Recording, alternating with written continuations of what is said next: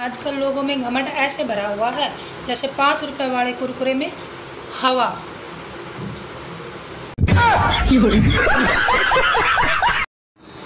जो कहते थे प्यार करके धोखा ही मिला तो तुम्हें क्या लगा?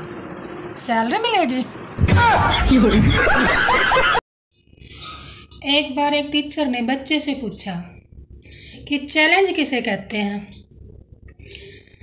बच्चे ने पूरा पेपर खाली छोड़ दिया और आखिरी पेज पे लिखा, हिम्मत है तो पास करके दिखा।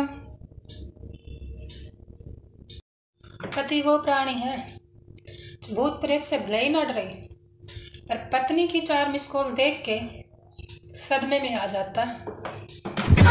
है अरे, अपने घर वाले से जीत बहस करने के बाद और उसमें जीतने के बाद मन को जो शांति मिलती है ना, वो हरिद्वार जाग के भी ना मिलती।